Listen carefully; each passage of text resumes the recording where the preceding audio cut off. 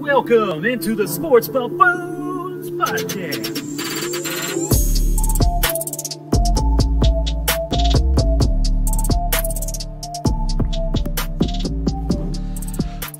Welcome on into the Sports Buffoons. We are back with Connor Dawson, uh, helping us out on this New Year's special. And welcome, guys. We are celebrating the New Year's as we need to, because 2020 was no fun for anybody.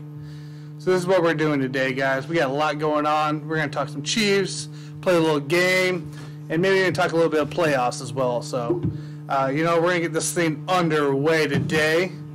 So we, first off, we got Mike, What it is, yo? we got Jason, What's up, guys? Happy And- New Year. Thank you all for joining us. And of course to my other side, the stranger, Connor Dawson. Hey, That's Coach Doss. Coach Doss. So, all right, guys, we're gonna get this underway. We had a uh, pretty great matchup, I thought, with the Falcons this uh, last weekend. What were so, Mike? Real quick, I want to know your thoughts. What was your biggest takeaway of this Falcons matchup that shouldn't have been that close of a game? The biggest takeaway, I think, is people just need to calm down a little bit. It has nothing to do with the game itself because it's still the NFL, and even though the Falcons were four and ten, that's actually a very talented team. So, uh, for me, it's it's not a big deal. But I know people out there crying and whining about the Chiefs' offense struggling, and they did struggle. And the Chiefs' defense actually did prevail in this game and helped get the Chiefs a victory when it was ended up being 17 to 14. Um, I thought Patrick Mahomes had arguably his worst game of his Chiefs career, and the reason being, I think that the Falcons sold out for the pass. The Falcons did not care about stopping the run. Derrick Williams, both, and Le'Veon Bell ran efficiently, efficiently, but Andy Reid does not want to run the ball. He'd rather throw Patrick Mahomes 45 times a game. And when teams know that that's coming, teams can back off into coverage, rush forward, and then get pressure because the Chiefs O line is garbage. And so, with that said, uh, when you're when you have garbage O line and you can only rush four, it's going to be tougher for the passing game to work. But luckily, we got the best quarterback in the NFL, so I'm not concerned going into the playoffs whatsoever with the number one seed in the AFC. So it sounds like Mitchell Schwartz might be out even coming up on the playoff time. Is that do you guys buy into that, or do you think he'll be back? I mean, he might be back. I don't know he's been out since October, so or is it October or November? But he's been out for a long time. But we cannot have guys like Andrew Wylie going around and playing right tackle for this team because that guy is, is no business being on the outside edge at all. And so he's, he's purely an interior offensive lineman, and even then he's below average. Uh, so that's a big problem. Um, Schwartz might be back, but then again, when Schwartz was playing the beginning of the year, It was he rough. wasn't good. It was this rough. This has been Mitchell Schwartz's worst season of his career, and not only did he get injured, but when he wasn't, was like I said, when he was playing, it wasn't good. He was he was allowing sacks, allowing pressure, something he's never done in his career, even back in his days with the Cleveland Browns. So. Um, it's, it's a concern for sure because we can't have Mahomes not trusting his line because right now he's bailing too early. He's drifting back on his passes. You know, he's constantly scrambling at the snap, and so he can't throw downfield, which is what he wants to do. That's his mo when you have a bad offensive line. So it's going to be a problem. Connor, what are your thoughts? You know, I I think the Falcons are underrated. I mean, they've been within pretty much every game right now, and I you know I don't think people need to panic because like the Falcons did exactly what Mike said. They sold out for the pass. Their interior, their rush defense was already good. Like their interior line's awesome. Like Grady Jackson's a stud. So they didn't really need to worry about stopping the run because it's not like the Chiefs are running down people's throats every week. So selling out for the pass made a ton of sense. But you know, people don't need to freak out. Like the team has the best record in Chiefs history. They're the best team in the NFL. They're 14 and one. They got the first round bye. Like just because they don't put 40 points up and run five cool plays every week, like that's not even normal football anyway. That's not a normal thing that's going to happen. So um, I think it's fine. It's not like the Falcons are a bad team. Like they're bad record wise. It's because they can't finish games, but they're actually not a bad team, especially on both sides of the ball. They're a lot like the Chargers, I think. Exactly. Similar Like they're they're not a bad team. They just are really bad at finishing games. Exactly. like, Yep. Like the the Falcons have been in pretty much every game they've been in this year, Mm-hmm. and they've even beat a couple of good teams. So it's it's it's not like we were facing some scrub. We weren't facing the Broncos. You know, like Yeah. we we're facing a real team that just has not finished games this year. Because that team could very easily be in the playoff hunt if I mean, they even get half of their games to, to go their way. Like, Yeah. And that was the Falcons Super Bowl, by the way. You could tell the energy level that they brought against the Chiefs was even better than I think the Chiefs brought against the Falcons. Like, so the Chiefs purely won just because we have better coaching, I believe, at the end of the day. But the, the actual, I don't know, effort I saw from the Falcons, everyone on that team was going full throttle, 100%. This was their game of the year, and they still ended up losing. So Yeah. it tells you how good the Chiefs are. and, and like, you know, you brought up Schwartz. Like, I do, like, there's a ton of concern, like, the interior offensive line. I don't think that's going to go away with or without Mitchell Schwartz. Like, that's going to exist how it is. But luckily enough, Mahomes is really good under pressure. He's good against the blitz. Like, the last week or two, he hasn't been. But You want to get you want Mahomes to get blitzed almost because if you blitz him, he's going to find the hole Exactly. in the defense. So you want him to be blitzed. But that's the problem when you're only rushing four. You're able to drop off seven into coverage, and so when guys are covered that way, it makes it tough. Yeah, I think they're fine. Like I I have Yeah. literally zero concern.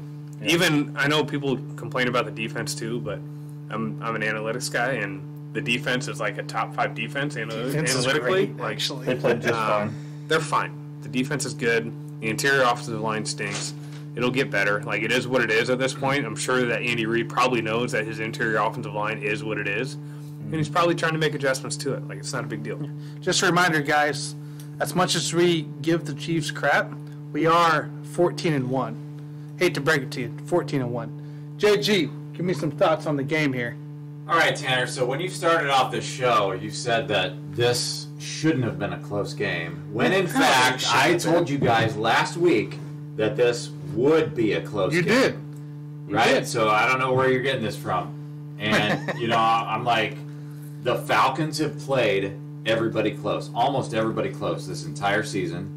And so have the Chiefs, really. They, they've only blown out the Jets and maybe one other team. And so I was expecting a close game this entire time. Uh, Mahomes, he could have potentially given away the league MVP award if the Falcons would have come down with those other two interceptions that should have been interceptions. So Mahomes got lucky in that respect. Uh, but you know, as far as the MVP race is concerned, you know, you've got Aaron Rodgers out there. He also threw a pick. So I still see those two guys as being dead even in the MVP race. Uh, Pat Mahomes, he's still got like 700 more yards than Aaron Rodgers. And, you know, Pat Mahomes has got six interceptions. Aaron Rodgers has five. You look at the odds. Uh, Aaron Rodgers has taken the lead on Bovada. He is minus 260 for the MVP race. Pat Mahomes is plus 210, which means absolutely nothing. I still think Pat Mahomes could win the MVP. Uh, but as far as the rest of the game, I thought the Chiefs' defense they played well against a, a decent Atlanta offense with no Julio Jones. But we've got to give credit to that Atlanta secondary for just not allowing the Chiefs receivers to get open. And honestly, I'm just sick and tired of the fans and the media panicking and saying, well, what's wrong with the offense?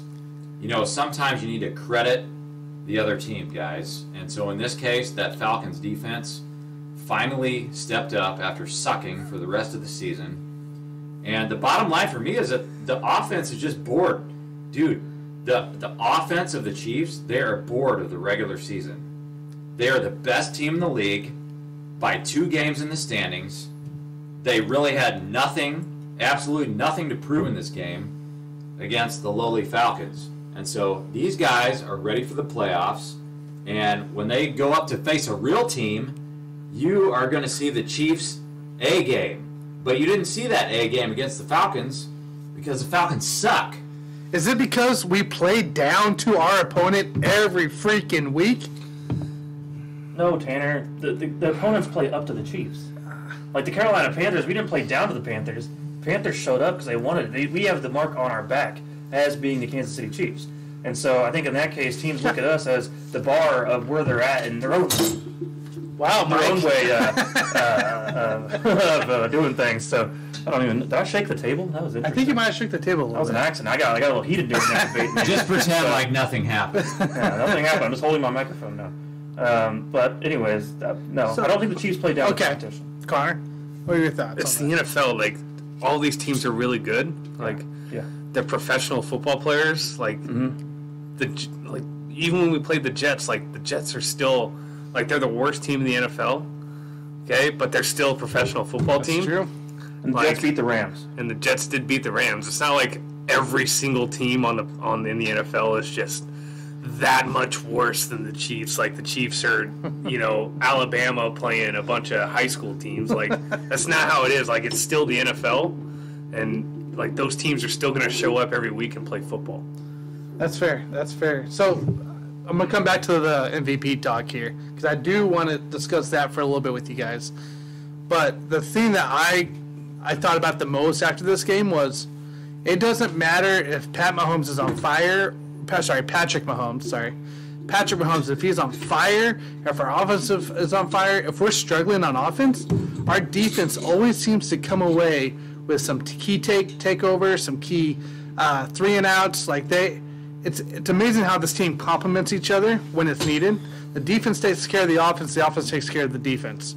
And I think that's the reason why we are 14 and 1 going with our first round bye in the AFC. I mean, what is a It's, what is a struggling offense for the Chiefs?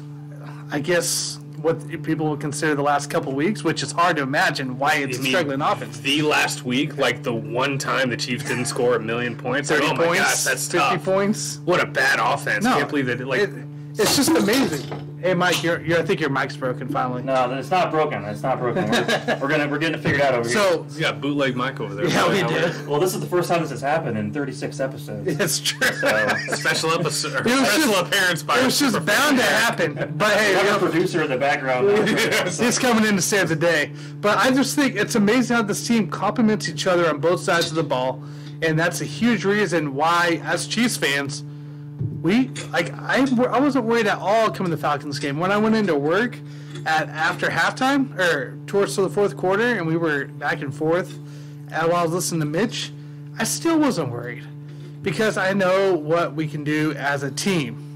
Well, let's not forget the real MVP of the entire team. The past two weeks is Tommy Townsend, That our beautiful punter, because that guy has been put. He's been hitting That hard. punt! That punt! The one at the two! Well, here's the thing: is like our offense did not have a good week last week. Like, oh my gosh, what a oh, bad team. but like the, a large part of the reason that the defense has been set up so well is because of the special teams unit and Tommy Townsend hitting darts. Yes. And like without him hitting dart, like if he doesn't hit three balls inside of the 20 last week and he sets those guys up at the 35 or 40 like It's a different it's a ballgame. different game but instead they have to go that much further against our pass defense which is really really good and like it just makes it that much harder so like let's not forget the unsung hero who never gets any love who should be a pro bowler tommy townsend Well, you know, he did get a lot of love on this podcast On this beginning of the podcast. season because I think he was my number one Chiefs MVP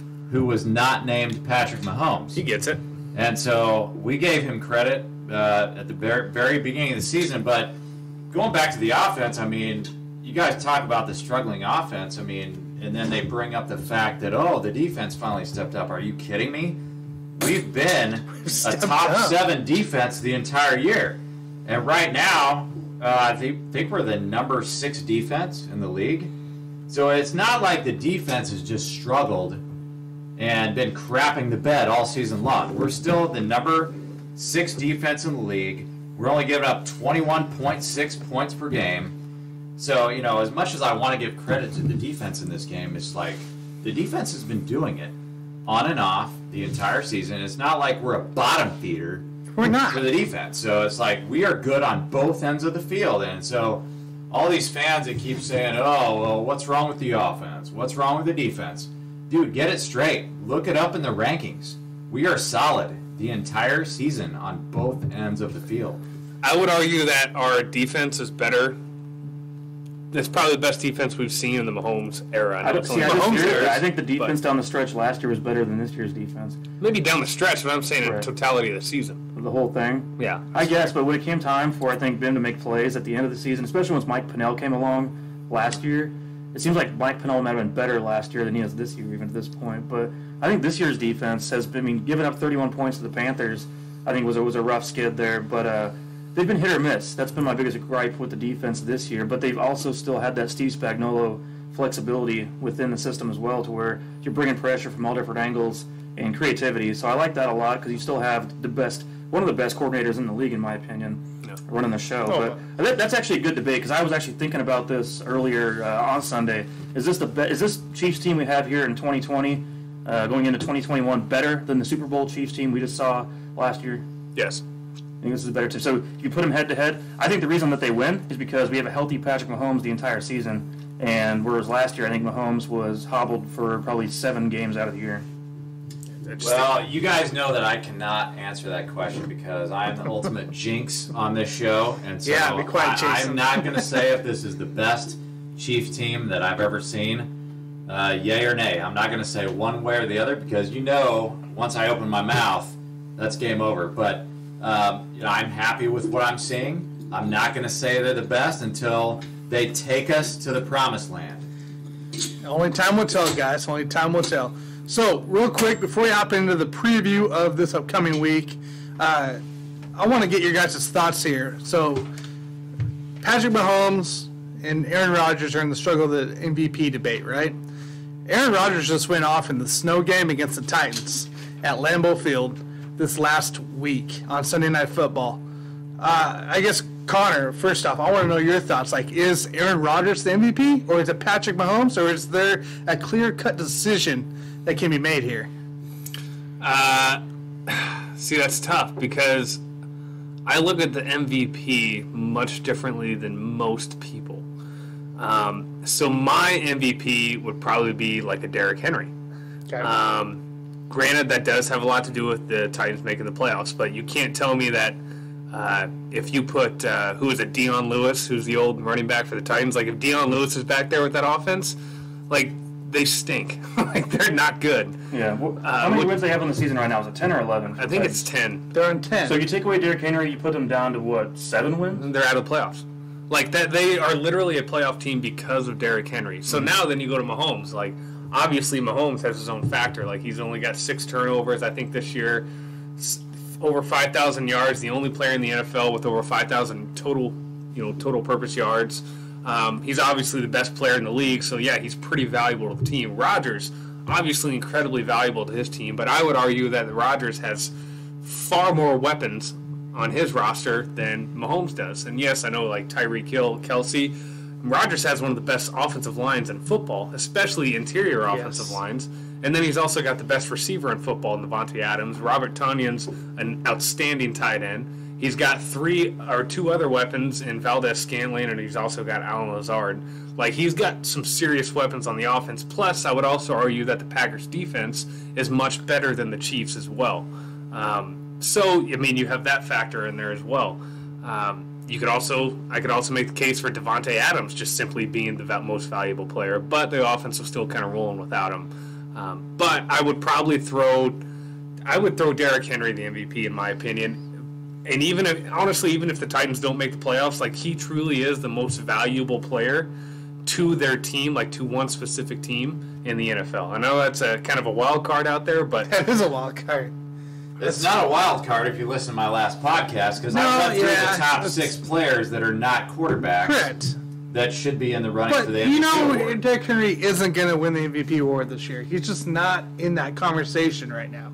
He should be, but he's not. It's literally between Patrick Mahomes and Aaron Rodgers. Right, it's because of positional value, Tanner. Correct. Yeah. That's what it So comes who is there? So is there a clear cut favorite though right now? To me? after the after this last weekend, does that hurt Patrick Mahomes, or does it help Patrick Mahomes in any way? No, There it doesn't help Patrick Mahomes. There is no clear cut favorite right now. I just gave you guys the odds. It's Pat Mahomes plus 210, Aaron Rodgers minus 260.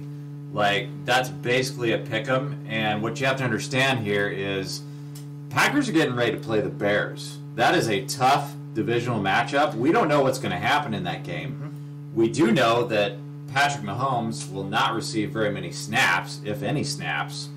And so, but, you know, when Packers go up against the Bears, I mean, that could be a very difficult game. I mean, Aaron Rodgers could throw two picks in that game. You just know, don't know what's going to happen. All right. Yeah, I think Speaking- Rodgers is the MVP. Speaking of uh, Chad Henney season, uh, I'm still in a league that for some reason this league has a Week 17 championship, which drives me through the Well, we like, did for a drive the while. wall. But I'm in the league championship and I've got Mahomes. Uh, and uh, this past week, just knowing that Mahomes, like they were going to rest if they won, I picked up Chad Henne and I picked up uh, Darrel Williams. And Chad Henne is my starting quarterback in the fantasy football championship this week. What about Darrel Williams? Is he one of your starters? Uh, probably not, just because I have Jonathan Taylor, James Robinson, and Austin Ekeler. Okay. So I probably don't need him, but he, he may hop in a flex. We have two flex positions, but um, I've also got Stefon Diggs and a couple of receivers, so he may not hop in. So Yeah, I gotta that's say another that I- one, Diggs. Oh my gosh, Mm-hmm. I, I gotta say that I feel sorry for you for having a Week 17 game because we had this situation last year, and my two the two best players on my team were Alvin Kamara and Davante Adams. Yep. I benched both of those guys in the championship game of my league, and that's the that's the whole reason why we don't have Week 17 That's why we quit that. games anymore. So, all right, guys, we're gonna touch base here real quick on the Chargers preview coming up. Uh, so we do face Los Angeles Chargers at home uh, this Sunday afternoon. Uh, so, guys, real quick, I mean, what are your thoughts against this? Obviously, we're expecting no Mahomes, no Clyde Edwards, uh, possibly a lot more uh, Williams running the running back. Uh, probably no Chris Jones, no Tyrann. Like, is there is there anybody you're looking forward to seeing play? Like, what, what are your thoughts coming up here? Well, I'll tell you, the number one guy I'm looking forward to seeing this game is Justin Herbert because he's still fighting for that Rookie of the Year spot. I think he is the favorite right now. He's got 4,000 yards and uh, like uh, 10 touchdowns, and so know, 28 touchdowns and 10 interceptions. But you know, my whole point for the Chiefs side of this game is that the guys who are banged up should not play, and the guys who are healthy should play in the first quarter. And so they just need to get a few reps in before the playoffs. And I hate it when teams come out rusty after taking a couple of weeks off. So I, I just want to treat this like a glorified preseason game and get these guys some meaningful reps in the first quarter. And then it's okay to shut them down. Like like I said, if you're healthy, you should be playing in that first quarter. But after that, you know, I don't want to see any of these starters. All right, Mike, what do you? I mean, what do you got going on? Yeah, I agree with the whole idea behind it being like a glorified preseason game. We're going to see more Willie Gay, which we saw quite a bit of this past week, which is going to be great. Um, so I think that's going to be good for the future. I think Armani Watts is going to get plenty of playing time, which he's a guy who's kind of on the verge of being cut going into next year, and I think he probably will be.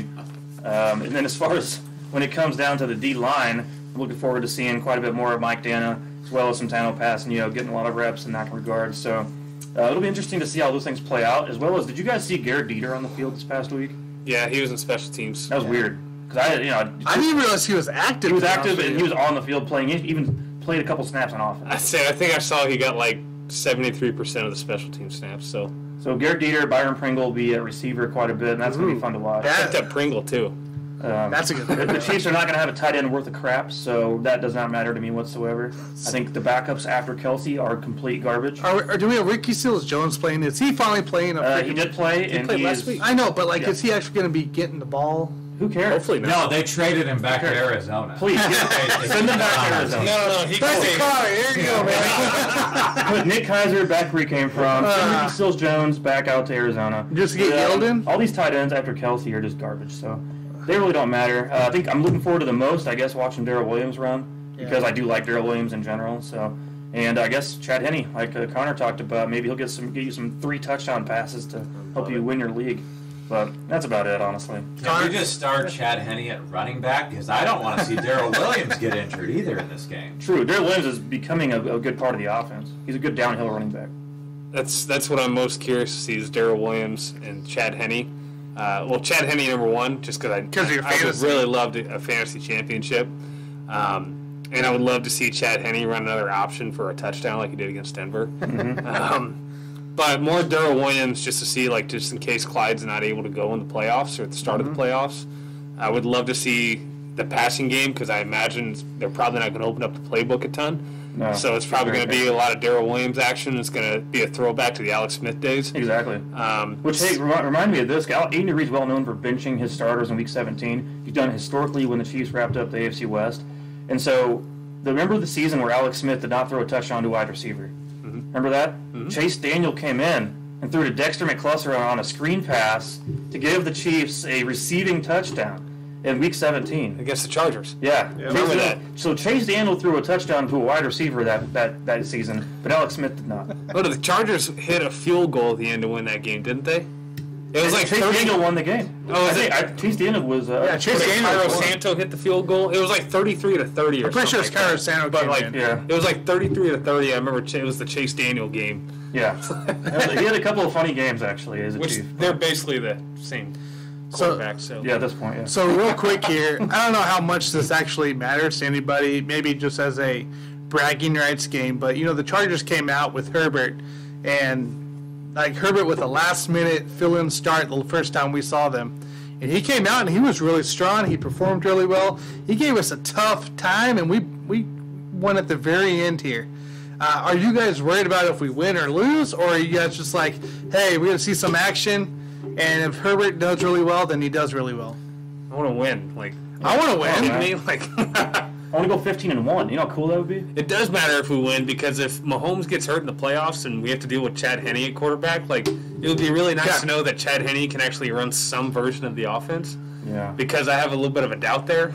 Yeah, I think we all do. Like, it's kind of important that we win in in, in that regard. You think he's better than Matt Moore? No. No? Team, I'm Team Matt Moore. I've been Team Matt Moore since he was a Dolphin. No, that's what I mean. Do you think Chad Chad Henne's better than Matt Moore? So Chad, so Chad Henne, you think they should have kept Matt Moore over Chad Henne as, as a backup? I'm Yeah. as Team Matt Yeah. Moore as it gets. I can't believe they cut him. Actually, I was surprised. What do we call them? The Viking killer from last year? It's from my Minnesota people. Yeah, I mean he played well against the Vikings for sure. Nah, dude, I, I do not want to see a win here. I want them to lose their ass. I want this to be a blowout game. You know why? because how do you how do you play best in life? You play the you play your best game after you lose. And That's so not real in sports. I want to see. But it's not the same. Like it's not I the want to see man. them lose their ass because you know what's going to happen? They're going to come out motivated in the playoffs as a mother effer and be like, "Oh, I just we just lost our last game." Dude, you're you're going to fail after you win like you go 15 and 1?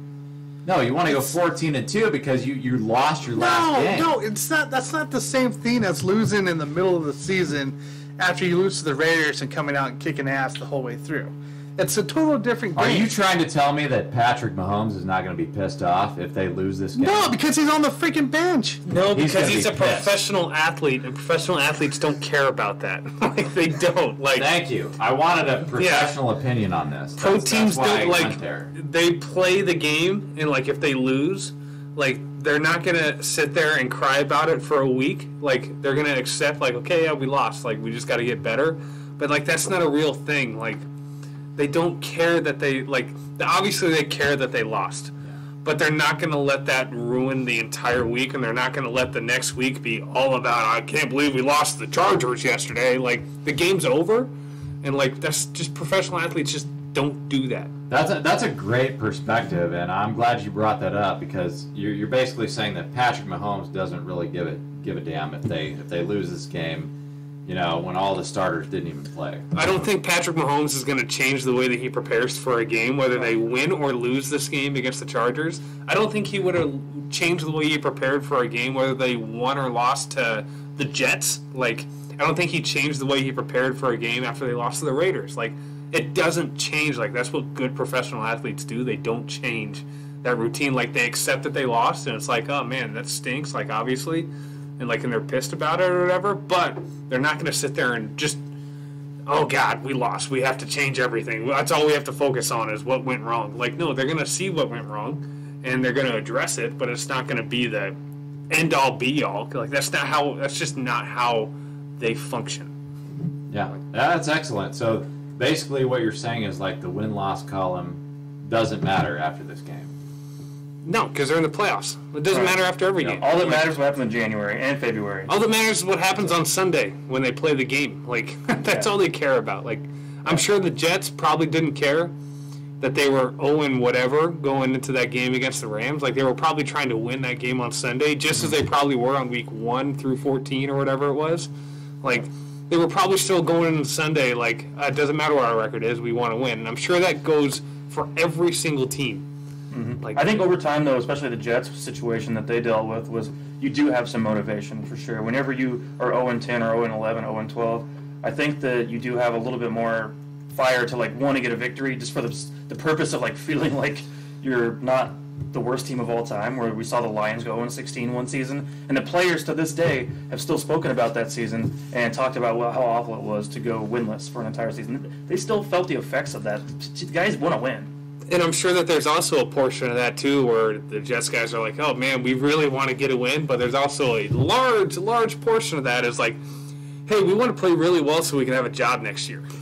Oh, know, yeah. that's a, it's a pretty important piece. They're too. all auditioning for jobs for next year for different 100%. teams. So, because I, I bet most of those guys probably don't want to be on that organization next year if they have the option for that. yeah. All right, guys. So we're gonna jump into actually a little fun game. But before we jump into the fun game here, I want to know something real quick. Uh, Mike, what do you got up there for your drink tonight? Well, you guys, it's it's almost New Year's, so thank you all for listening in on our pre-New Year's uh, celebration as we're sitting here currently. I currently have a Bulleit bourbon with a little bit of Diet Coke mixed in, and I got also a. I'm getting real, real wild up in here, real white girl wasted with the Bud Light Platinum Seltzer, eight Mine's percent in the fridge. ABV.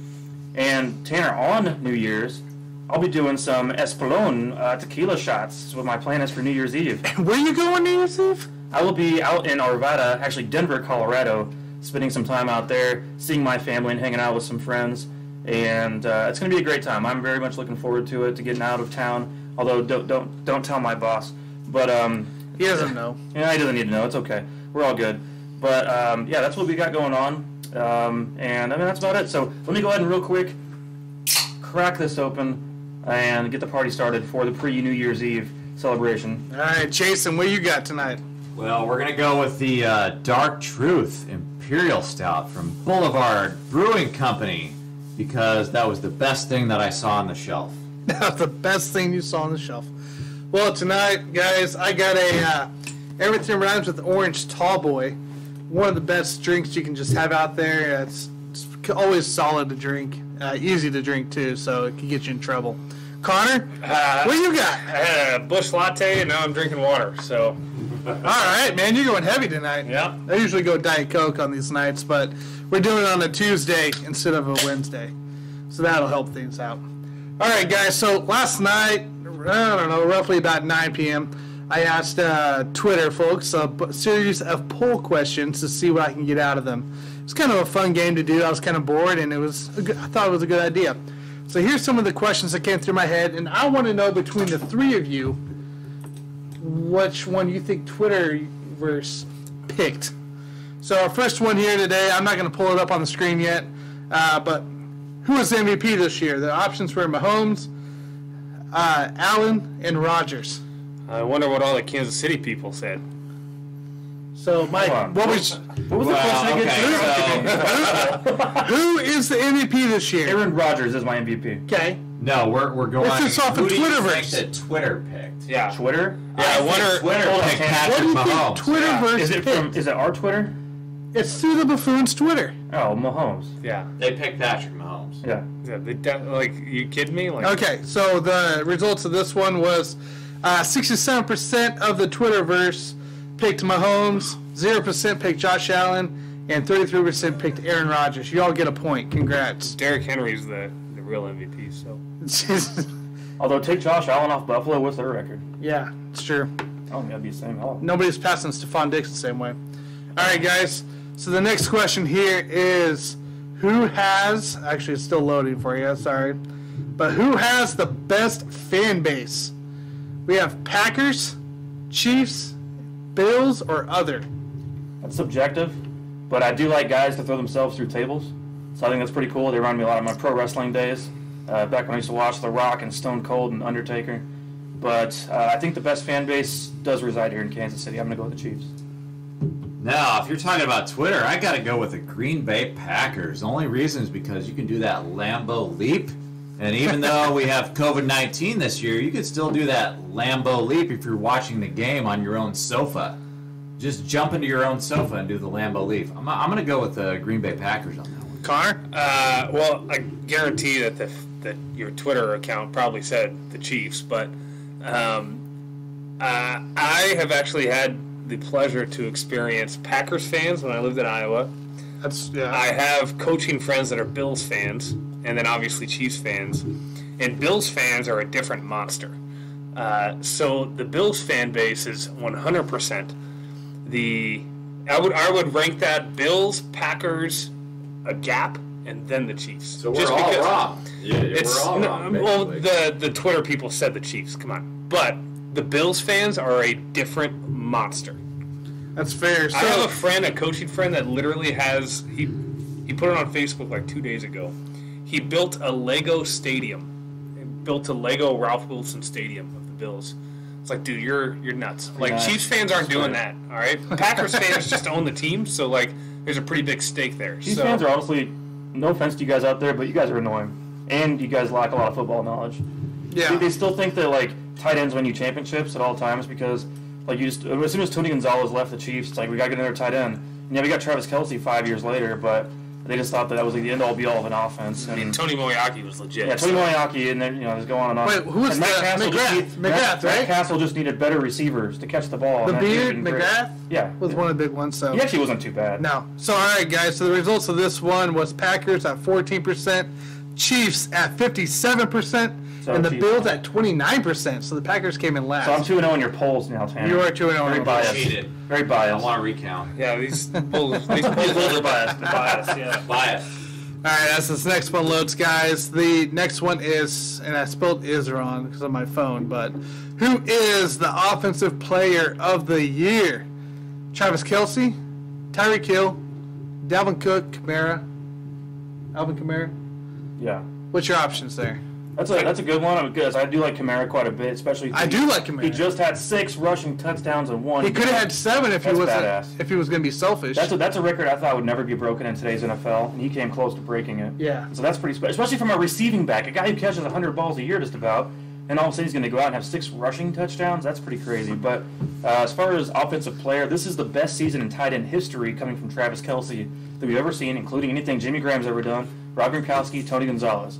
To me, Travis Kelce is the offensive player of the year and has been the most efficient player of any players you just mentioned. Jason. Yeah, I mean, if you're going with player of the year, I mean, I got to go with Alvin Kamara. I mean, he's actually got more points in our fantasy league than Russell Wilson. So I'll go with Kamara. He actually should have had seven touchdowns in that game. I was watching that game, and all of the fans were pissed. But he wasn't they didn't selfish. put him in there.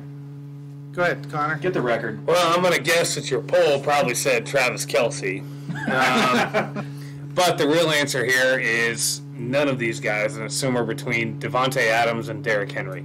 So that's uh, that's that's really what the answer Adams is. has It's one of those two. this year. He's been this is watching Adams play has been incredible this year. With as, as good as Aaron Rodgers is, Adams has been a, a different level of, him own, of his own self this year, and something he's now with 16 touchdowns on the year, 17 receiving, something like that. It's it's crazy. It's amazing. It- it's Amazing. somewhere That's- it's it's somewhere between Derrick Henry and Davante Adams is the actual answer. That's true. I understand your point about Davante Adams, but to my point on my previous podcast, uh, if you take Derrick Henry off that team, they're absolute trash, Yeah, and he he's the carries them on their back, just like LeBron James. They got AJ used to Brown, carry those fine. crappy Cavs teams on his Tanner, back. I would have removed That's Dalvin what Cook. Derrick Henry is doing right now. I'd remove Yeah. Dalvin Cook from your list. All right, Not so- him on there. So the the Twitterverse said Kelce 100%. I'm three and zero Oh, I'm shocked. Kelce 100%. Who would have thought, guys? Who would have thought? Cheated. Recount. All right, so the next one is who was the rookie of the year?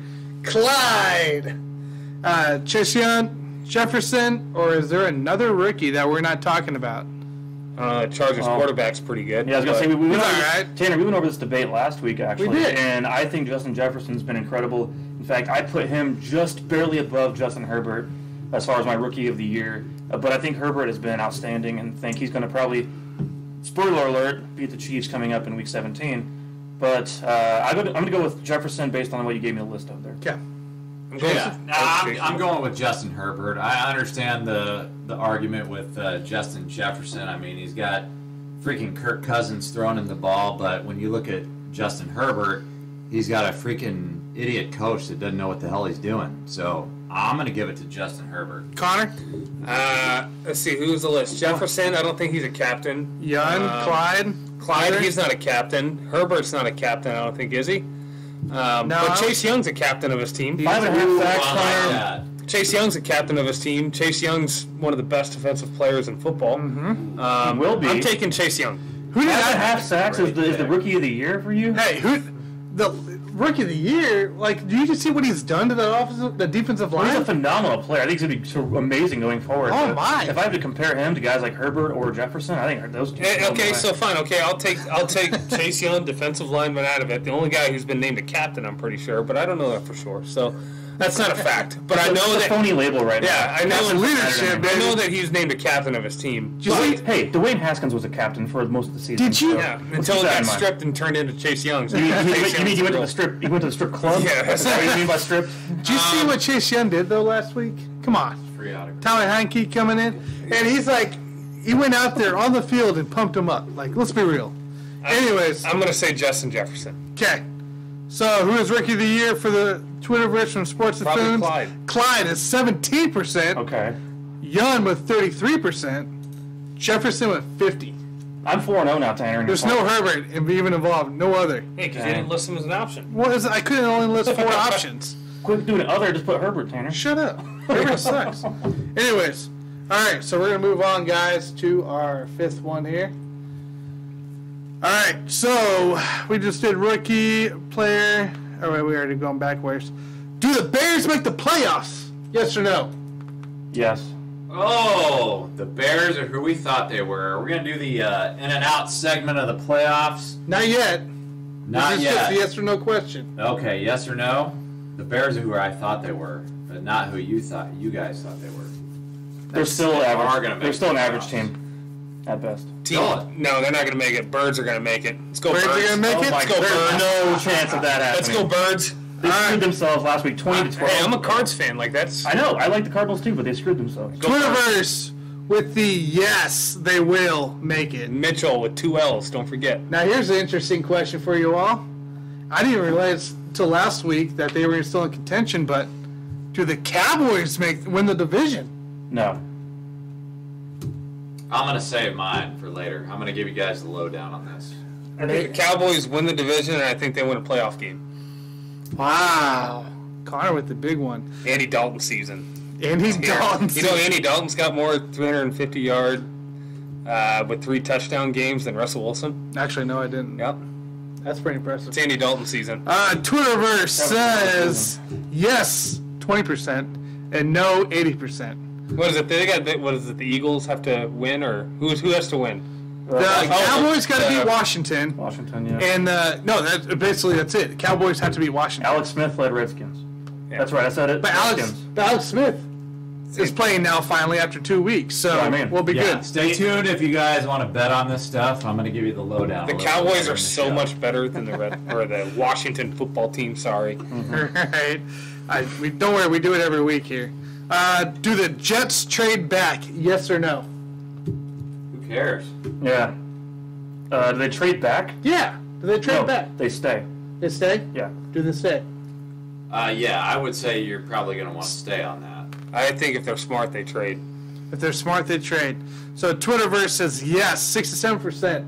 No, thirty-three percent. So That's a good question for April, I think. it is coming. Uh, will be a good question. for you. Don't worry. I'm just like I said. These are just thoughts I had on my head, That's fine. man. Thoughts I had on my head. Thought it'd be kind of fun. All right. Next one is J.J. Watt a Texan next year. Yes. No. No. He's gone. Real quick, you Get out guys have any guesstimate where he's going? Uh, that's a, that's a tough call at this point. I mean, he's going to be a very highly coveted So- player, but My other option on this is retires. no, he won't retire. He's not done playing yet. No, he's he's gonna be gone. But the thing about J.J. Watt is, you know, Gonna go to good you team. gotta you gotta sell high, and so this guy's over the hill. So whoever pays him the money, they're gonna lose big time. The guy's over the hill. He's not gonna be very productive at this point in his career. I'd rather have Derek Watt at this All point. right. If the Texans care about their culture, they keep J.J. Watt, which they will. So J.J. Watt, yes, he is a Texan, fifty-six percent. No, thirty-three, and somebody said retires at eleven percent. They're wrong. So Not I really. highly doubt it. All right. So our next one here, where does Eric Bieniemy land next year? We got the Falcons, Mm-hmm. the Texans, the Jags, or is it other? I like this question, Tanner. This is a good question. I'm going to go with the Atlanta Falcons. That's where Okay. going to end up at. Jason? Ooh, I like the Jags actually. I ca- That's why I put the Jags I like down. the Jags because I could see him a fit. That team is freaking desperate, dude. They need some help. Connor? Uh, I would, as a fan of him, I would love it if he went to the Texans. Um, but I don't think I think he's going to be a Chief next year. I think Oh, he's just back. stay again one more year. I think he's back. Are One the uh, are the Los Angeles Chargers off the table? No, it's in the others category. There's an others Okay, category. so I'm going to other category, and I'm going to go Chiefs. okay. Uh, but I would love to see him be a Texan. okay. Yeah, I, I would want to see the Chargers actually because I would want to see him step in there with Justin Herbert. But It would be nice. He has some good options. Uh, Twitterverse says Falcons at 29%, Texans at 41%, Jags at 18, and other with 12%. And that's a 17 voter too, highest one of the night. Yeah, so, that's a good question. Like I said, it's not. um, so next one here, guys. Uh, we haven't really talked about it all this season, but will Dak get paid? nah, screw that. Will guy. Dak get paid paid? by Dallas? No, just paid. Just well, yeah, someone's going to pay him. So the options are no, he better or he'll know. oh hell no. Okay, Mike, Jason. yeah, I don't think he's going to get paid because he's got to prove that he is worth a damn at coming off of this injury. So I know he's proved himself up to this point in his career, but I mean he's got to prove prove himself to be healthy at this point, right? That's right, Connor. What do you got? Uh, so, okay, the Cowboys are going to have mid to late first round pick. Mm-hmm. So, cross quarterback out of there. Um, they're going to have free agency, cross quarterback out of there. Uh, so, yeah, he's going to get paid because the other alternative is Andy Dalton. So, um, yeah. Who was the other backup? Who was the other backups that popped in? Uh, it was uh, Who do we who's the guy guys? from was it Delaware State or something? yeah, Delaware that? State. DiNucci. Uh, Oh my god. DiNucci. Ben DiNucci. That was yeah. awful. DiNucci season came. DiNucci might get paid, right? Yeah. Can he get paid? One of the worst quarterback. I'm going to I've say that Dak gets paid, and I think he deserves to get paid. Uh, I think if the Cowboys care about their culture, Dak gets paid. Uh, Dak has a strong connection, obviously, with Cooper, CeeDee Lamb, their rookie from the get go, and then also Michael Gallup, who's severely underrated as a receiver. Yep. Uh, so, yeah, if they're smart, Dak gets paid, and he should get paid because there's not really any other options out there. Unless, you know, wild thought, Falcons get rid of Matt Ryan. Okay, great. Now we just get what's he, 38 30. year old Matt Ryan, like to run the Well, Cowboys you offense. could, you could give Matt no Ryan a year or two and then draft and develop a quarterback too. So that's definitely seems like the Cowboy way. Yeah. Yeah, Not it does really. Like like that's the Cowboy Cowboy way. way. at. Like the Cowboys are going to keep Dak. Dak's a top 10 quarterback. Like he's going to be he's Yeah. going to be fine. Like he should get paid and he will. All right, so Twitterverse says he better at 25% and hell no at 75%. And I didn't state where he was going. I just said, will he get paid? Paid. And someone will pay him. All right, guys, final question of the night here. And something to think about. Does Drew Brees come back next year? Uh, yeah, I think so because he just can't. He doesn't know when to say no. Like he loves football so much, and I think this is his biggest passion in his life is football. And he also, even though he's having a hard time, and especially against the Chiefs coming back off from his injury with his broken ribs, and came out and had a rough time. I think Brees just wants to play football. So it's not with if it's not with the Saints for whatever reason next year, he will end up somewhere playing football. I don't know who it's going to be with, but he's not ready to retire yet. All right. Yeah, I agree with you. He is not going to retire, uh, but he is. If he comes back, which he will, he is going to fall off a cliff. I mean, he got lucky this year. We were saying the preseason, or at least I was saying the preseason, that he's going to fall off the cliff mid-season, but he got lucky. He injured his ribs, which saved his arm, and so now he can still have a productive season. That's not going to happen next year. So he's going to come back, and then he's going to be cooked about week four. Cooked about week four. Connor? I think he's already cooked. I don't think he comes back. I think he's toast. Like I think, like he got the he got the crap kicked out of him this year. Like he's done. He's got. You you saw just I mean, looking at his uh, looking at that game the Chiefs and the Saints played, they showed his family in the suite multiple times. Like he's got two kids that look like they're getting ready to start sports and like their thing. Mhm. Yeah, like, they are. They are. Their kids wanted Mahomes jerseys like Yeah, for yeah. Christmas. Oh, like, that's, that's a little weird. Yeah. You- your dad is playing in the NFL and they want Mahomes jersey. Dude, he's he's weird. he's done, and I, I think he's going to get a lot of internal pressure too, to be done because I think it's it's time. But I don't think for Drew Taysom himself Hill. wants to be done. Well, that's fine. It doesn't really matter what he wants. Like his I body, don't Some, dude. some team will want Drew Brees on their team. think- they're not going to pay him what Drew Brees wants, though. No. It- with the way the salary cap's set up now, there's there's teams you have to, like you have to get rid of money at times, like overpay for players. You mean like the Raiders? well, right, of course, the Raiders have done that before. They've just overpaid players because they had to get rid of money just to fit underneath the certain cap requirement of money spent. Nobody. And I just think someone's gonna overpay him no matter what. whatever okay, it's at. so somebody's going to pay him no matter what. So you're talking about a team that's probably not very good. More than likely. and you think Drew Brees is going to go to somebody who's got me and you blocking for him? Like that's not going to happen. or on the There's no verge way. of being good that needs a above average quarterback Well, to come in and save the day. The verge of being good still means that you and I are probably blocking for him. What about, Like- well, what about Bill Belichick wanting one more year in, in the Patriots and No getting chance. Drew Brees? No, I don't No see chance. that. No, That's way. not going to happen. There's no way. There's Well, no it'd be better than Jason Stidham or Cam Newton. I think it Stidham would. season, baby. No, I'm just kidding. Well, the thing about Drew Brees is this this reminds me a lot of Brett Favre going to the Vikings. And so Drew Brees, he's looking at himself and he's saying, okay, I'm younger than Tom Brady, so I'm ready to play forever. And so there will be a team, I believe, out there, and I don't know who it's going to be. I don't really care that it's going to go. They're going to go for Drew Brees, but he has nothing left in the tank. Brady's an See, anomaly there. that's the difference, though. Is like you just brought up Favre, Brady, and Drew Brees. Okay, Favre still had a rocket for an arm, At even at the years end of his career. Tom Brady has a rocket for an arm still at the end of his career.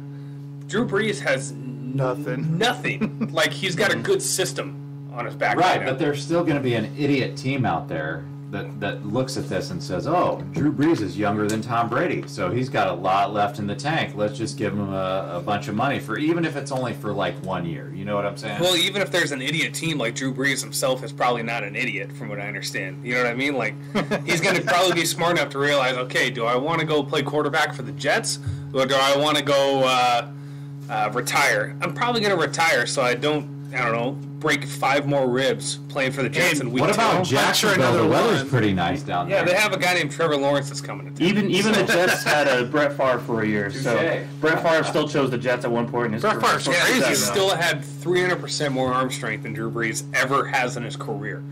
Yeah, I agree with you on that for sure. So, quick thoughts here on this Drew Brees deal for me. Uh, last year, he was contemplating for quite a long time before he decided to come back. He had anchor positions already lined up. People were offering him money of that, and he decided to come back a year. I personally don't think he comes back next year. I think we just need to take in glory this last game of what we got of Drew Brees and what we've got this last season, and, and just enjoy seeing him play. Because I don't think the guy's coming back. I'm starting Chad Henne over Drew Brees in that league, by the way. That's fair. Well, So Twitterverse, Twitterverse here, guys. Does Drew Brees come back next year? Yes. Fifty-seven percent say they do, You're wrong. and no, forty-three percent say they don't. So, hey guys, that was a fun game of pick'ems here. So, real quick, we are gonna actually jump into uh, a little playoff talk here going on. We're gonna talk about. I'm gonna have Jace, JG here talk about some scenarios going on, what to expect coming up this weekend, and then some quick thoughts from us here. So, JG, break down the scenarios we got coming up this week. All right, guys, we're going to start with the NFC East. There's no more important division that we can talk about right now than the NFC East, right? Because you got Washington six and nine, Dallas six and nine. You got the Giants at five and ten. So I want to know your guys' thoughts. We've already gone over this a little bit, uh, but who are your picks for the NFC East? I've got the New York Giants. Spoiler alert: winning the division. No. Mm. Cowboys. So New York Giants. No, that's not even gonna happen. What is wrong with you? I still like All right. Washington for me. So here's what's going on with the NFC East. The division, as you all know out there, has been a complete disaster for the entire season. And it is going to continue to be a disaster in week 17, where the Giants will beat the Dallas Cowboys and the Philadelphia Eagles will beat the WFT. What do we call that? Washington Football Team, not WTF, which is what I really want to call it. uh, but that's that's what I've got for the NFC East. So, why do you guys disagree with me on that? Like, why don't you think the Giants can win that division? Uh, first off, it's called Alex Smith is actually playing this week, and when Alex Smith plays, he wins. Like, do we need anything else? So Tanner, you and I are on the same page as far as Washington, right? Yeah, like They're gonna Al- win the NFC If, as long as Alex Smith plays, Alex Smith wins. Dwayne Haskins ain't gonna lead that team. Obviously, you're not gonna lead no team now. Uh, like you're not gonna find a winner outside of Alex Smith. He, the guy comes in and he continues to put them in position. He doesn't put Connor's teams in position very well, but he puts his team in position. Yeah, the Cowboys are going to be the the guys who come out of that. The Eagles are not good. Uh, Cowboys been playing better, especially defensively, over the past five weeks. Um, Andy Dalton is a is Andy Dalton has played playoff football. He knows what this is about. He's been there before. They have much better. To me, the offense in, in Dallas is probably better than many of the offenses he had in Cincinnati. Um, the Eagles are just terrible, uh, and the Giants stink. Giants. Um, the Washington football team stinks. Uh, the Cowboys are the best of the group by far. The problem with the Cowboys is that they had to work through a transition of running an offense with Dak Prescott to Andy Dalton, which was a significant change. Ben and then Andy Dalton from Ben DiNucci was a significant change, and then back to Andy Dalton, significant change. Like there is a lot that happened in those middle part of the season for the Cowboys that really did not add up well for him. Connor, that resume though, you're talking about Andy Dalton playoff football. He's 0 4 with one touchdown and four interceptions. There's six sucks. interceptions It in those games. He's yeah, he's been there though. He's been there. So is Alex He's his Smith. pants every time. But Yeah. seriously, you guys just made my point for me, and I'm that's why I'm telling you the Giants are going to be a playoff team at six and ten. That division is a disaster, Wait, and they, you know, the Giants are going to be in there. Like, I thought they were eliminated last week with their loss. I'm pretty sure the Giants Giants? were eliminated last week with their loss. they are not eliminated. They are going to make the playoffs at Mike, six and ten. fact check Honestly, this. Let's guys, fact check the Giants. Fact check. if you are betting on the NFC East, you know, please don't. Just please, you know, pull your hand off the trigger. Right? You do not want to bet on this Don't division bet or on any that of these games. It's too late. I'm just telling you right now, the six and ten Giants are going to win the division. It is still possible. It is actually going to happen, but quite honestly, we need to move on. So uh, we've got the Arizona Cardinals, and Mike, you can you know you can bring up your Fact other stuff it. later, but It looks like there's a 12% chance they can make playoffs. Twelve percent. Okay. it's still ooh, not you need to possible. bump that up a little bit. Good call, It's going to Jason. happen. Good call. Twelve JJ. percent With, chance. with Washington Tanner at a 73% chance, Yes, they should be. as they should be. Correct. All right. Come on, Cowboys. Anyway, moving right along, we've got the uh, Arizona Cardinals versus the LA Rams, and all Arizona needs to do this week is win, guys. So if they win, they're in. What do you think is going to happen with Arizona? Man, what in the hell happened to Arizona being such a great team to, hey, I'm going to fall off out of the playoffs. I'm going to give the Bears the lead this last one. Like, Let's not What? forget the Cardinals went like four and twelve last year. Okay? Yeah, With no, like, largely the same it's team. an improvement. I'm not basing off of last year. I'm basing it off of what they were Here's the doing. thing, we're not being haters. I think we're all here like the Cardinals. We like the team. Cardinals. I like Kyler Murray. I, love want them to DeAndre win. Hopkins. I love the team they've built over there, and the team's going to be good going forward for the future for sure. No, But by I think with the way that they've played recently, they've shown their true colors, what they are as a team, and they're just not playoff material right now. Unfortunately, they're honestly like an eight and eight type team, and that, that goes against what I believed in three weeks ago. Um, I, you guys know I was all about the Cardinals, and Mm-hmm. you picked them proven to me every wrong. week and pick them. I kept picking the Cardinals to win, and they kept failing. Yep. Bears for me are going to be over the Cardinals in that wild card spot. So what's that? What's that game? Who do the Bears got to play this week? The Bears play the Packers. The Bears play the Packers, Yeah. okay, and then the Cardinals play the Rams. Rams are probably going to be without Jared Goff. There, there is no Jared Goff. That's that's There my is- whole point. yeah, he's officially out. He's like officially out. Arizona is most likely going to win the game Yeah. because But- they're starting. Uh, the Rams are starting John Wolford at quarterback And the- because Jared Goff just had thumb surgery. and the Cardinals are starting. So what's our requirement? It ain't Kyler Murray. for the- the Kyler Cardinals Murray's to gonna be make the out. playoffs? No, bird game. Bird game. Is Kyler Murray actually out? Murray, Murray's hurt. Like they're already starting to talk about the backup of Arizona playing this game. Who's the Cardinals' backup? God, it's a no name, no name I've ever heard of. Okay, well, I didn't hear about that yet, but all I knew is the game itself. It's a toss-up was still. Okay. This was the first pick'em game that we've seen all year.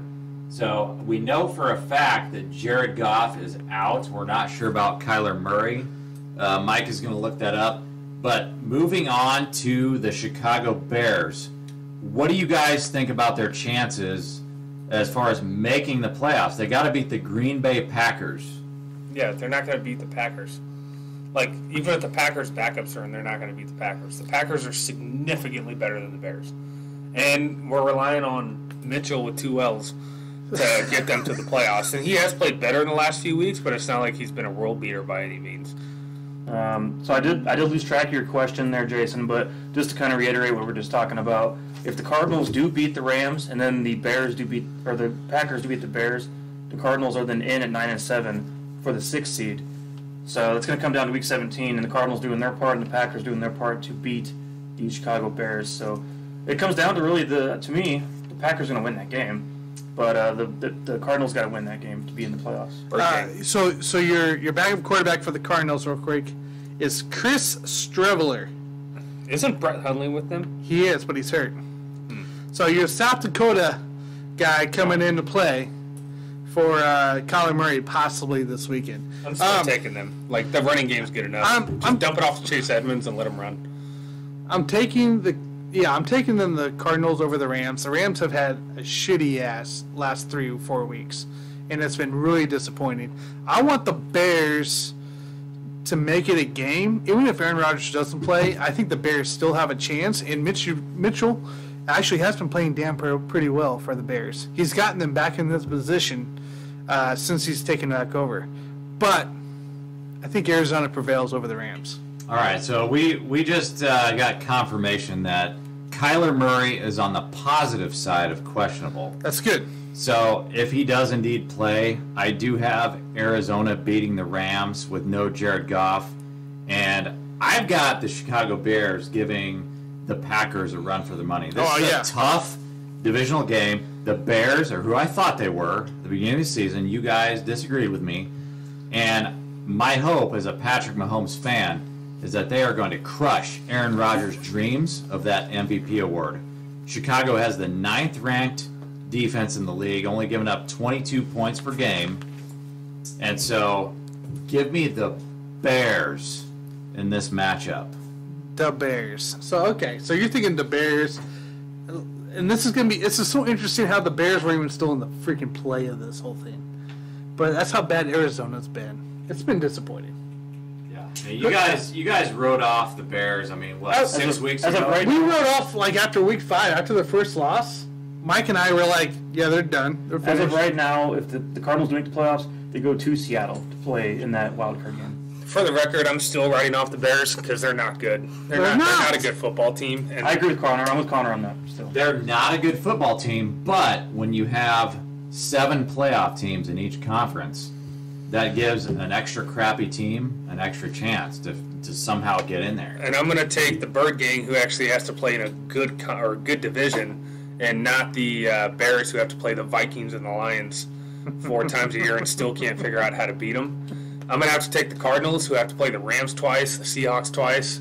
Like they have to play real teams twice. The Niners twice. I know the Niners have had a tough year with injuries and COVID and whatnot, mm-hmm. but like the Birds are a solid, solid group. Yeah, I mean, and when you got seven playoff spots, I'm actually going with the Cardinals and the Bears. I think they're both going to make it. So let's go ahead How and move that? on. How's that possible? No, it's it's You said us, Cardinals and Bears. And the Bears. Yeah, How's that no, possible? if they both win, they're Li- in. Listen, it is possible because if the So the Cardinals Rams win are and the kicked out? Yes. So what would happen is the Bears would then play the Packers in the playoffs, which would be back-to-back games, and then the Arizona Cardinals at the seventh seed would play against the two seed Seattle Seahawks. So, so you tell me the Rams have fallen off so far it's that possible. now they're in the contention of Correct. being eliminated? Correct. Dude, the What Rams, the they don't have their quarterback, which could be a good thing, you know, because I'm not a big fan of Jared Goff, but um, they're probably going to lose that game. Wow. Honestly, let's just move on to the AFC. Yeah, what we got AFC is sounding like trash right now. Oh, man. well, it's not trash, but it sounds like trash. So we're going to start with the, uh, well, you know, it's not trash. They got the Chiefs and then everybody else, but um, anyway. And AFC, you got Titans, and so Tennessee Titans are in if they beat Houston or the Colts, Ravens, or Miami Dolphins lose. So what do you guys think about the Titans this year? Derrick Henry's taking the playoffs. Titans in. Titans are in easy. Same as last year. To me, that's the exact same team as we saw last year. So Mm-hmm. you know the you know the formula to beat them. You know the formula they're going to use against you. And so the Chiefs, they should know what to expect. Especially uh, we saw them last year in regular season and lost. Saw them in the playoffs and got a victory in a in a tough matchup for sure. They're a good physical team. So I like the Titans, and they're going to be in. And I mean, I don't know. You guys know what I thought about them? I think are they're a legitimate team. are we blaming the weather last week for Derrick Henry only rushing for what was it? Oh, Some that ridiculous was amount. part of it, are we blaming? Are we giving credit to the Packers defense for knowing how to stop the Titans? How many rushing yards do you have? I want to say I thought it was like very small. It wasn't a good day.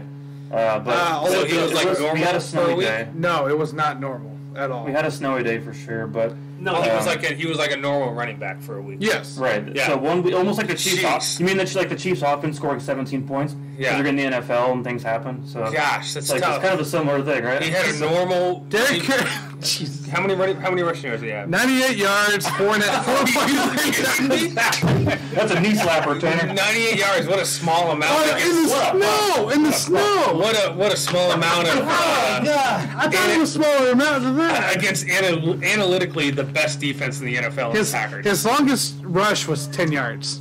What a oh, bomb! that's so tough. What a loser. That's a good team. What, what's your point, Jason? Hey, You- All right, the whole point is Okay, that the your point? Titans are in if they win. Yeah, they're in. Let's moving moving right along. Let's go to the Miami Dolphins. Uh, they're going to be in the playoffs. They can if they can beat Buffalo, or we see a loss by Baltimore, Cleveland, or Indianapolis. Okay, so Jason has them out of the playoffs, obviously, because he told me the last three games they will lose. Take it to the bank. They didn't lose last game, but they're supposed it to to lose the this bank. game. So Jason has this one out. I like Miami. I love the things that they have done this year, and I think they beat the Bills because I don't see Josh Allen playing. I'm pretty sure Stefon Diggs won't play. He better play. I have him in my You know, fantasy I don't think he plays. So I, I'm seeing the Dolphins come away with this victory here, and Hmm. get in the playoffs. But that might kick the Colts out at 11 wins. Were you doing pick'ems, Tanner, or were we just? No, I'm just about- telling you. So- I'm just telling you. not- The Dolphins are in, as they deserve to be. Dolphins are in. All right, let's moving uh, moving right along to the Baltimore Ravens. They are in if they can beat Cincinnati, or we have a Cleveland Browns or a Colts loss. Ravens are in. Ravens are in no matter what, by the way. I think Raven. Who the play? Cincinnati. Cincinnati. Yeah, Cincinnati's gonna- not going to win three in a row. No, but even, if, even if the Bengals do win this game, the Ravens still currently, as things stand, would still be in. Yeah. Yeah. Keep that in mind. Okay.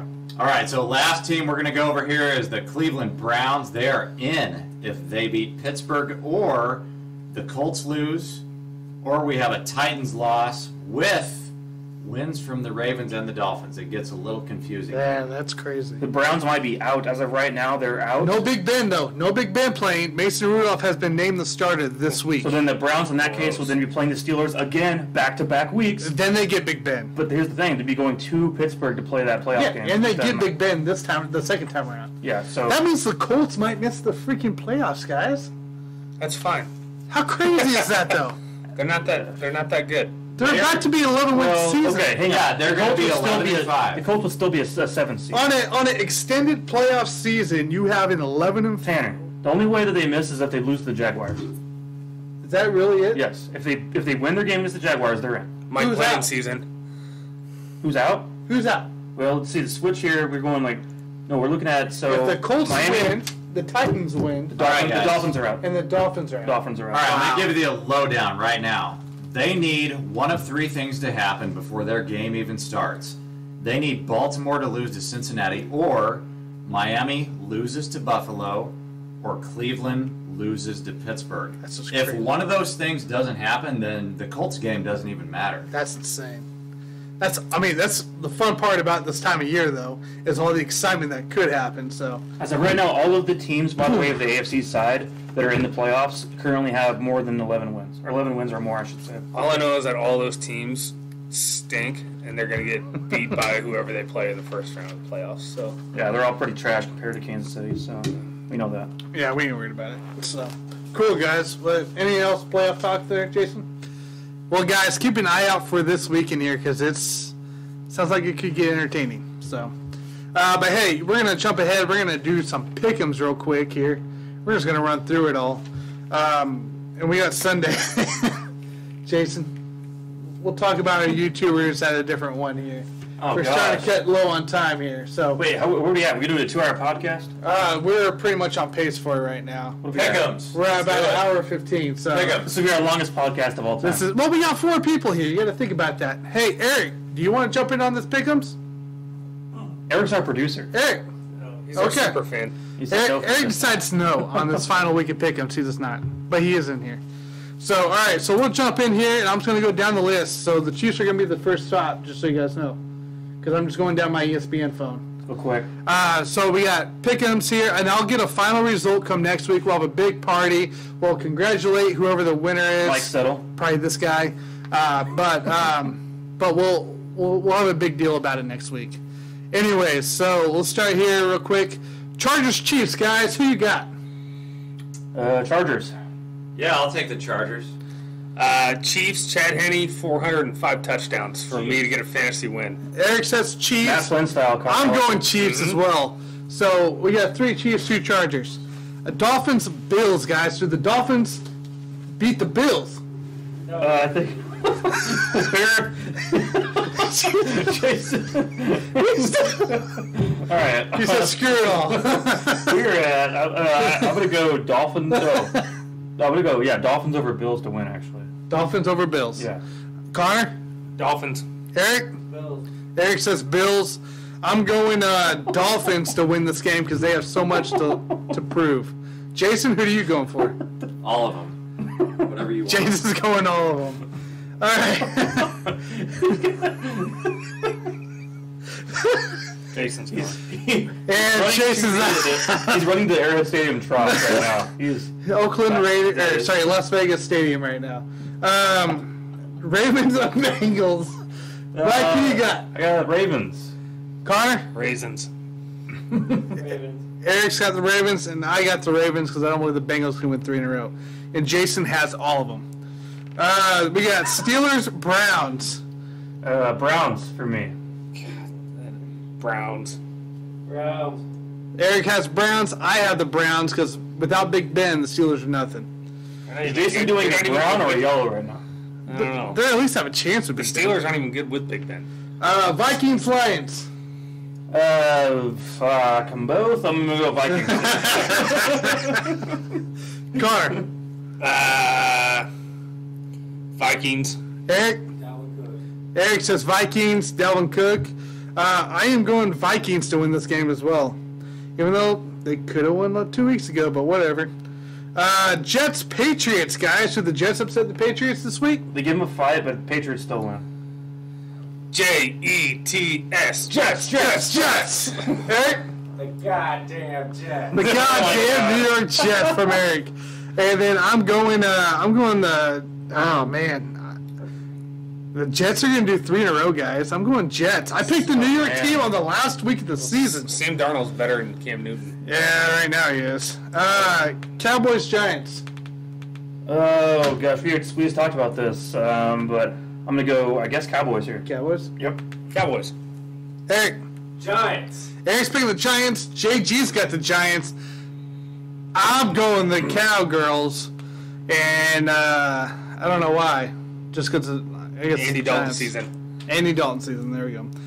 Falcons, Bucks. Uh, give me the Bucks for sure.